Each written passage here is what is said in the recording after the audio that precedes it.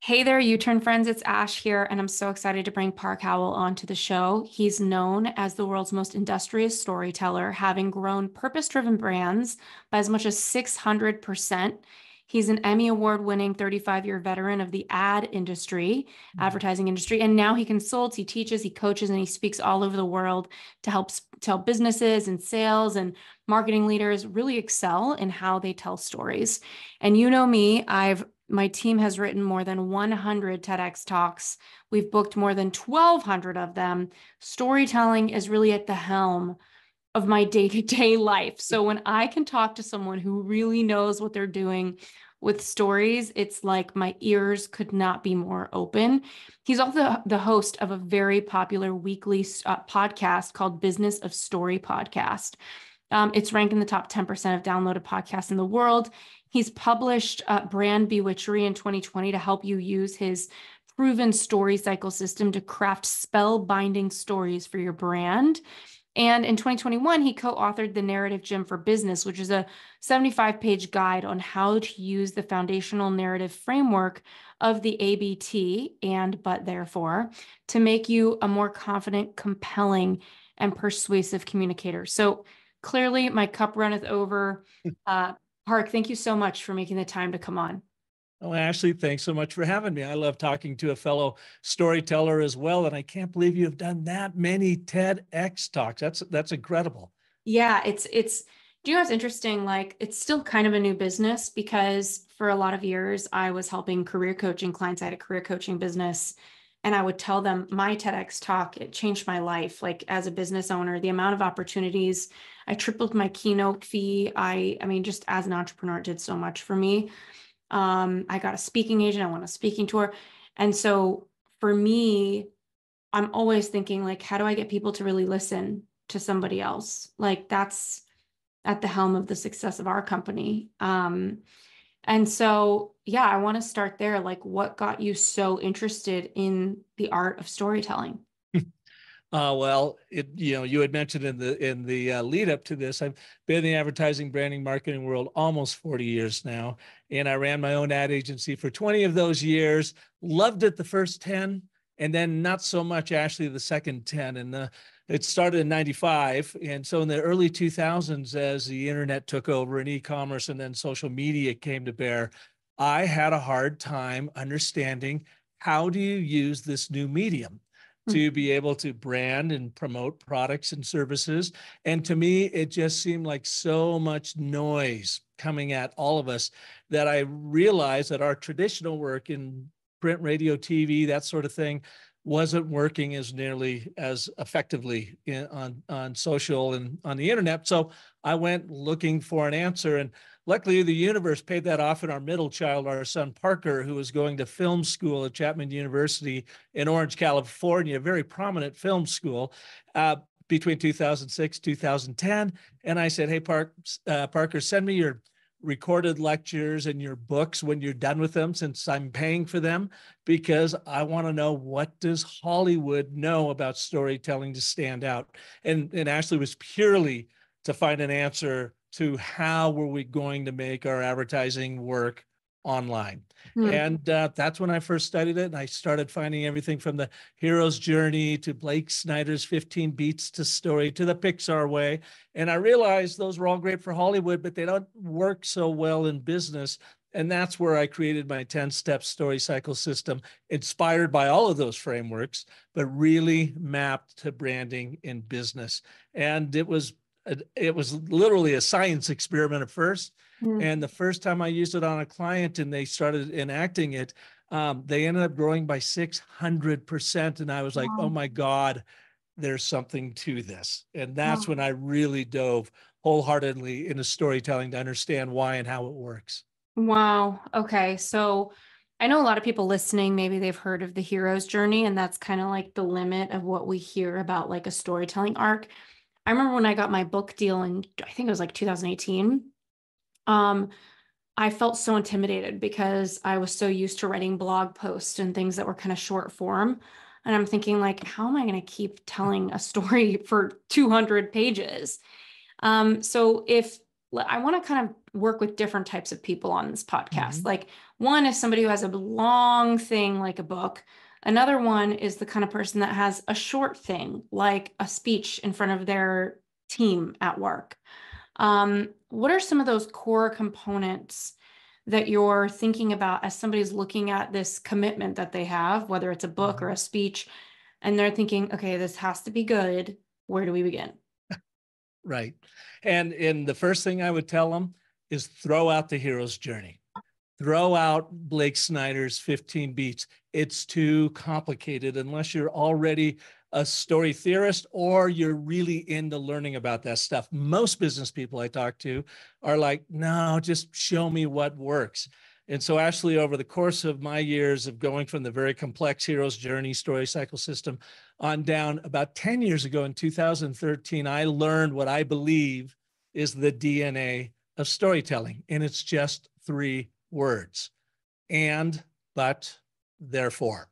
And Mm. you can look at the huge hero's journey and realize it's set up as an and, but, therefore, an ABT, as we call it, the Agile Narrative Framework.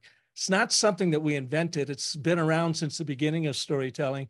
But all the training I do now, in in answer to your question, I would say first start and learn the and, but, therefore. Get these three words down and how you structure them, and then it helps you focus your message and your stories to clarify them, and it gives you that singular narrative thread throughout an entire book, or a TED talk, or a sales presentation, or you can even use it in your email writing to be able to become more compelling. So Mm. that's what I do. I, I want it to be simplified for people so that they can understand it and use it immediately. And then they build on that framework. Mm. Mm. Okay, and but therefore, I feel like people are listening and thinking, "What the heck?" And but therefore, what do we what do we do with that? So let's say you know Sally's listening. She's got a big speech Yep. at work next week, and she's like taking her pen down right now. She's saying, "And but therefore," like where does she go with that? What the heck? Okay, Yeah, great. What the So heck? it's- it's Sally. The first thing I'm going to ask Sally to do, and let me give you a real quick structural lesson on the ABT. The ABT is the tripartite structure to story, meaning the three acts of setup, problem, resolution. Um, act one, the and, is the and statement of agreement. We are simply setting the stage, getting everyone in the audience in Sally's presentation nodding, saying, yeah, yep, I, I can agree with where that vision is we want to go. The but is the statement of contradiction, the plot twist, or act two. But we're not there yet, or we're frustrated because of this major problem. Then the act three is the therefore statement of consequence. Therefore, picture it when we get what we want by doing this to get us there. What we're doing with the ABT and the three part structure to story of agreement, contradiction, consequence is playing to that primal subconscious limbic brain. It's pattern seeking, problem solving, decision making, buying brain. People think we buy with our rational frontal neocortex. We don't. We buy with that emotional center, that survival brain, that primal limbic brain. So the ABT delivers messages and stories directly to that limbic brain on how it wants to receive it and make meaning out of the madness of being in this world. So the very first thing I would tell Sally is identify your audience. Be as specific as you possibly can. Now, say she is giving this sales presentation or a, a presentation around an initiative internally. I want her to identify that audience. What do they care about? Are these C suite people? Are they chief marketing officers? Is it HR? What? All right. Then I want her to answer, and this is all in the statement of agreement identify your audience, uh, detail what is it they want relative to what you have to offer. They don't even realize what you have to offer yet. You've got to do your homework. What is it that they want? And why is it important to them? You raise the stakes. Mhm. So you get them nodding. Yes, yeah, that's you're right, Sally. That's exactly what we want. You've done your homework. You understand us and you appreciate what's important to us. Then she goes, but we're all frustrated. You're frustrated because of this major problem standing in our way. And they're going, oh my God, you're right. Yeah, that is how I feel. Hmm. And what are we going to do about it? Therefore, here's the way forward if we all pull together and do this to achieve this. Mm. Set up, problem, resolution. You have a singular problem solution dynamic narrative. Um, you have the three act structure story of agreement, contradiction, consequence, and you're delivering it to that problem solving, decision making, buying brain in the way it wants to receive story. Does that make Mhm. sense? Yeah, I almost want to apply it to a TEDx talk. We have about 32 of them we're writing right now and booking for. And um, I kind of think of each talk in a similar way, but I, I haven't thought about it in this way. I'm I'm constantly thinking when I start writing a TEDx talk, like how do I move the audience and make people want to listen to this person? Like, how do I share this person's story or life in a way that people want to know them and keep listening? Mhm. Um, and I guess the way you're saying it is the and, like agreeing universally on something. Um, so let's say that we had a TED TEDx talk for a leadership coach, and she, you know, goes into companies and helps prevent burnout amongst employees, and she coaches employees. How would you start thinking about her speech? Um, yeah, just kind of Yeah, based then- on what we shared. So, okay, so let's use burnout. That is going to be our one word theme. We're going to focus on burnout, and that is going to help us get down to that singular problem solution narrative. All right. Now, the first question I'd ask Ashley is who is sitting in the audience? Can you, in your fictitious audience, or maybe maybe this is a real world thing, who is sitting in that audience? Well, that's what's so interesting is it's like the TEDx audience, it's YouTube, right? It's like everything from John Doe in middle of America, people in New I mean, it's all over the world. So I guess what would your response be to that kind of a situation? Would you say pick the people you want to listen? Yep. Um, you've got to. You've Right. got to identify your audience. Now, I did a TEDx in 2018 here in Arizona, and they told us straight out the audience are the 20 somethings that are sitting here in front of us, and it's how can they live into a more powerful story. So that that was the theme.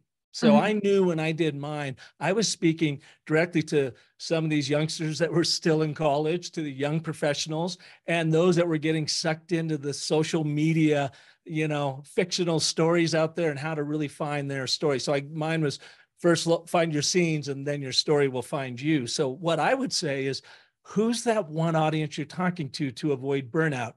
It could relate to everybody, but you got to get super focused on that audience. Otherwise, you start running all over the place. So let's say, for instance, why don't we say it's, you know, the 30 somethings? Right. Because they're really finding their pace. They paid their dues, you know, in their 20s. And now they're like, I've got the tiger by the tail. This is awesome. But they're starting to feel burnout, or they've seen others ahead of them, older than them, burnout, and they don't want that to happen to them. hmm So I would say, I would try to identify that audience and say, you are a dynamic, forward thinking business professional. hmm Just Something like that, you know? Mhm. Um, and you might even throw out, you know, 30, a 30 something business professional. You, you know, and you want to create the best life and the most stellar career you could possibly imagine. Now I'm just winging it here, Ashley, Mhm. right? So that's, that's that our statement of agreement. Mhm. You want this, you want this, and it's important to you because you want this great, fulfilling life with a career that may even deliver a legacy after you're done with it. Mhm.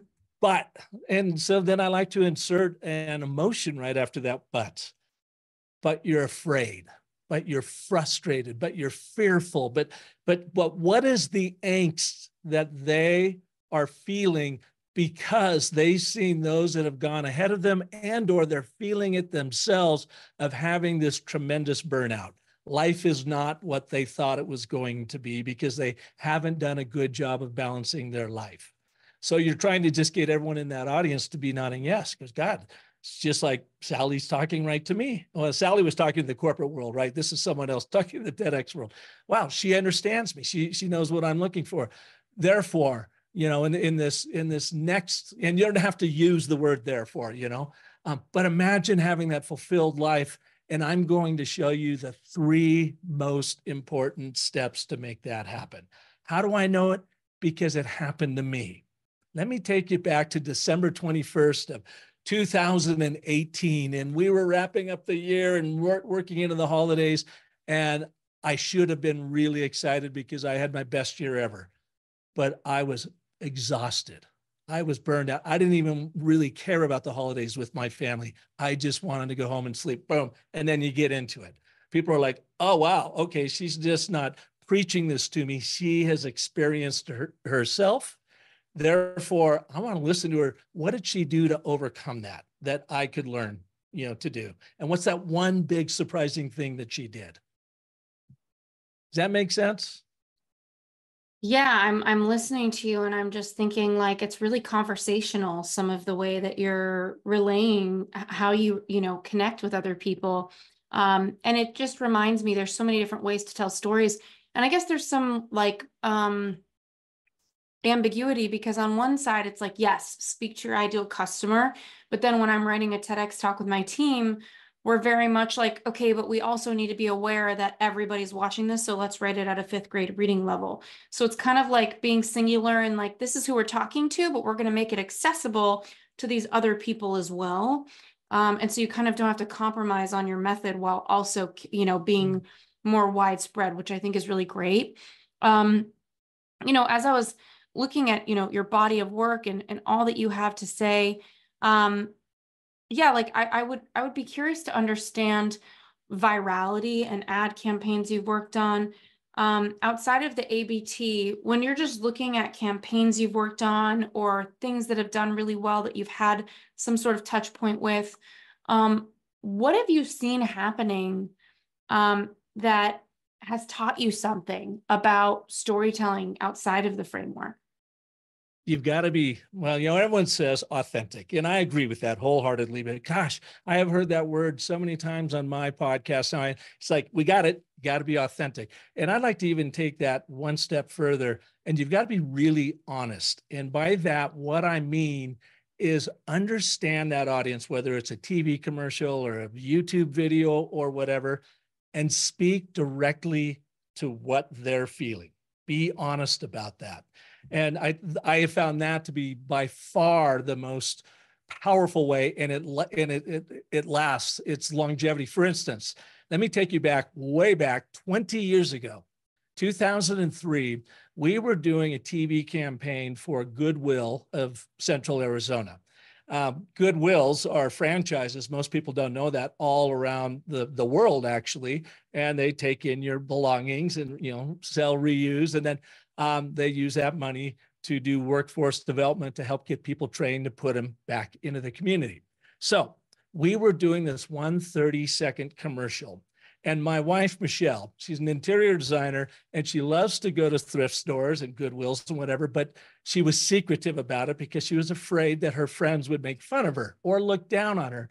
But she goes, in fact, she came in one day in our living room and she was whispering to me, Ashley, she goes, I just got this such and such blouse. It was this pretty blue, bird's eye blue va- uh, blouse. She goes, I just got this blouse for $15 and it's tip, it's regular $150 over at Nordstrom's. And look, the tags are still on it.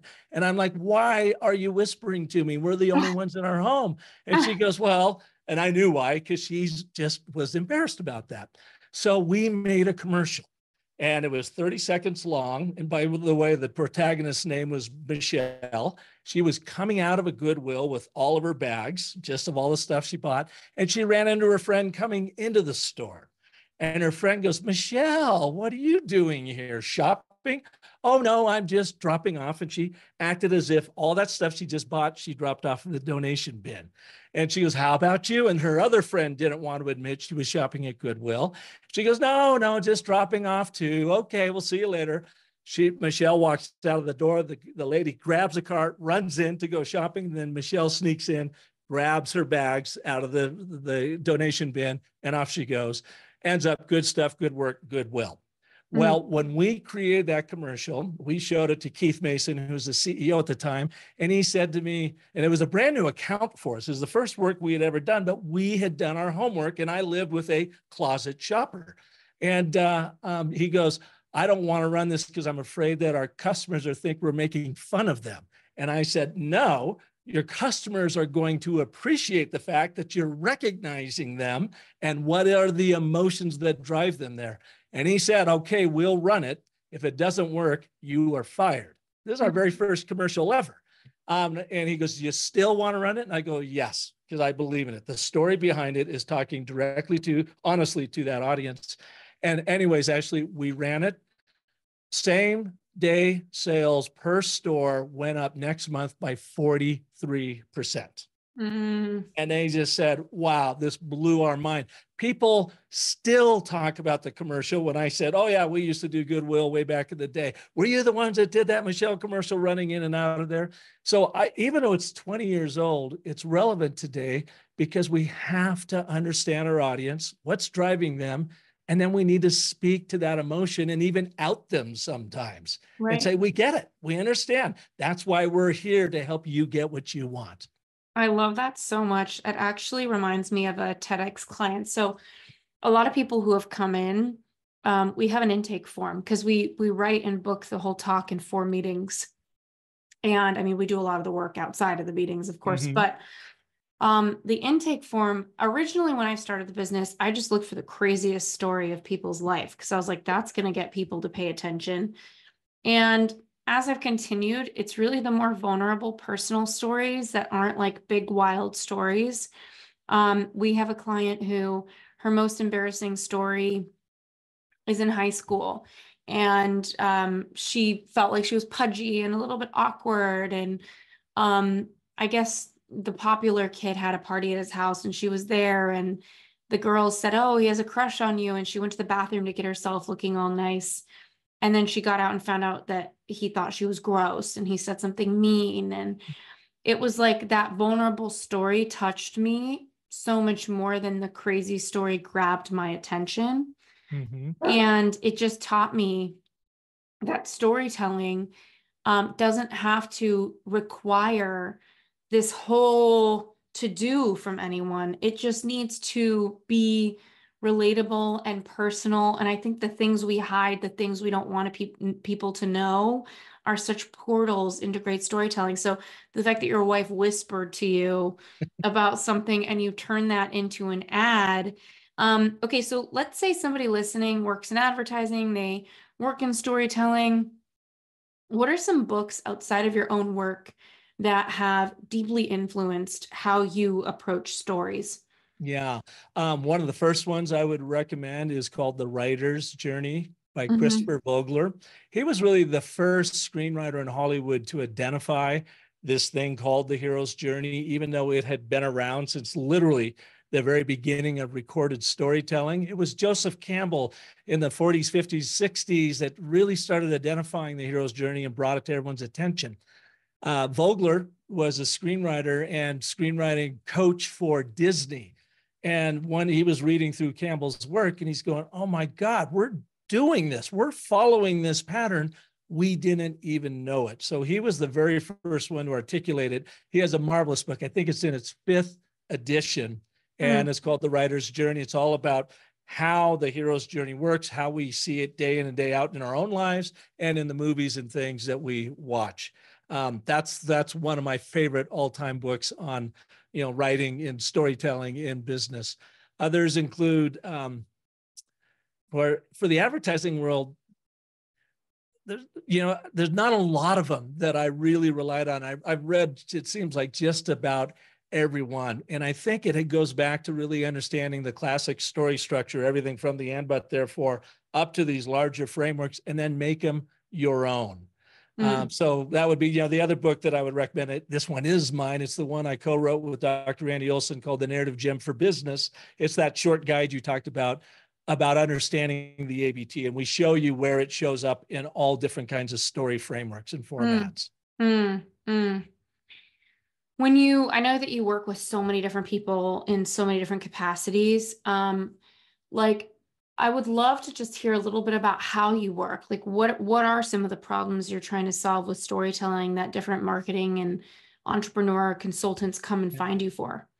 Here's what they always ask. And this was the thing, Ashley, that surprised me the most when I really started doing this full time, when I pivoted away from my ad agency and in 2016 started the business of story. Large brands, small brands, everything in between. The first thing that they would say is we need our people to consistently tell our story the same way.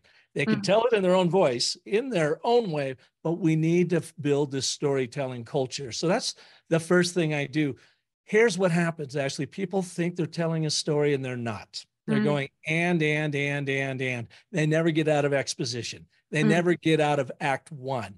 And mm. it's boring. So when people think they're telling a story, they're not really telling a story. Uh, that's why you get the and, but, therefore. So I come in, like, for instance, some of my customers, uh, Walmart Canada, we are training thousands of their associates how to use the and, but, therefore to be able to make their messages land right the first time internally mm-hmm. um, and, and not going on and on. And a lot of them are new uh, managers that have been leveled up into leadership and the leaders above them are saying they don't have the presence yet. They don't know how to tell that story, like you talked about Sally coming in. Yeah. How can we give them confidence and get them to get to the point?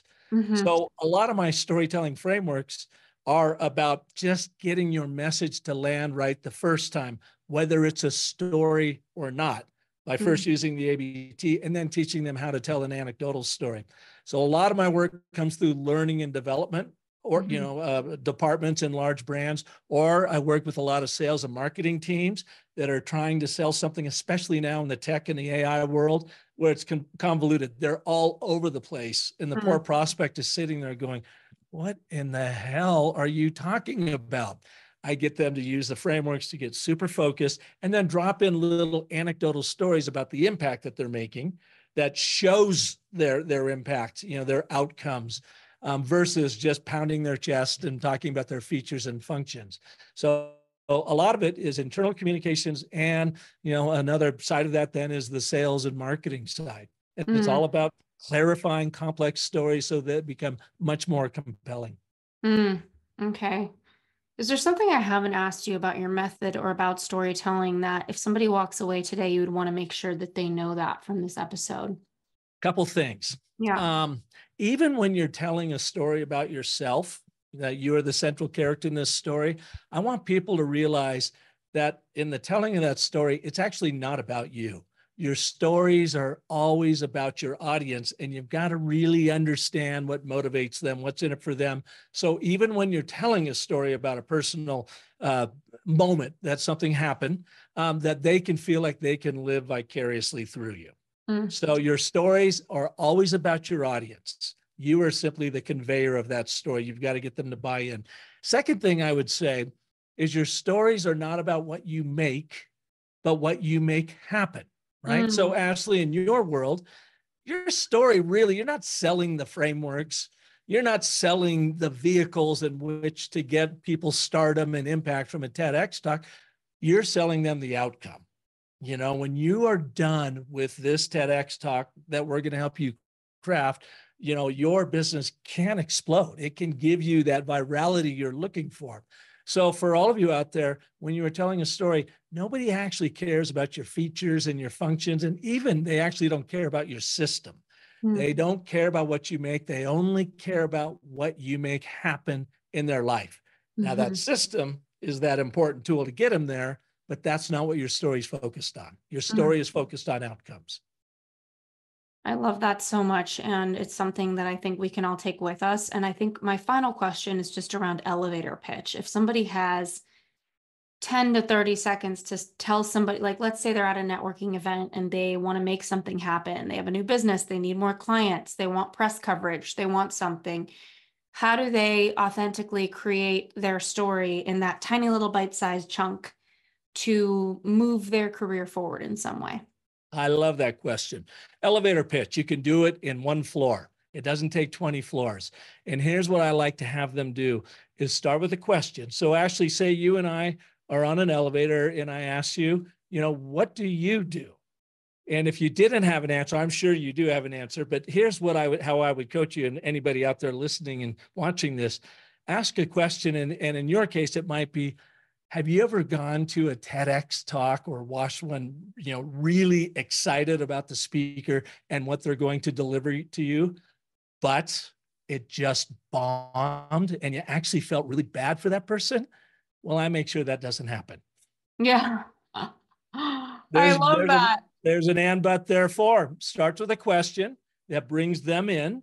Have you ever shared vision, gone to a TEDx talk or watched one, and you were so excited about the presenter and what the topic was all about, but they bombed and you even felt badly for them? Well, I make sure that doesn't happen. Hi, I'm Ashley, and you know, so on and what you do. Mm, that's so interesting. I I would I don't I I think at first pass with your method, somebody may not see the and as a question. How can you make sense of that for everybody listening? Yeah, because you're not delivering, you can make that and statement of agreement either a statement with a period or a question. All you're doing is you're not inserting the problem yet. You're just getting them into the scene with you, into your story. You're introducing them to a TEDx, or you could even say just a speaker. Have you ever gone and seen a speaker and really excited about who they were and the message that you were promised was going to be delivered to you? Yeah, yeah, we have, but they bombed. Oh my God, yeah, I've seen that happen. We make sure that doesn't happen, especially for TEDx and TED Talk speakers. So you can do that. You're not inserting the problem up top. You're share you're sharing this vision of like, yeah, that excitement, but uh the bummer by it going sideways. Therefore, you make sure that never happens. Mm, mm, mm. This has been so much fun. Um, I hope everybody remembers to check out the guide. We'll put the info in the show notes, the narrative gym for business, 75 pages um, to use the ABT. Thank you so much, Park, for coming onto the show and congrats on all the people that you're helping with this. Oh, well, Ashley, thank you very much. And if any of your audience wants to actually take a quick little micro training course on the ABT, they can go to businessofstory.com forward slash ABT. You guessed it. And that'll take them to the Thinkific course. And in under an hour, they can use it, learn it, and put it to work for themselves. Wow, that's awesome. What a bite size, useful thing for anybody to do. I'm so appreciative of you coming on. Thank you, Ashley. I've enjoyed it.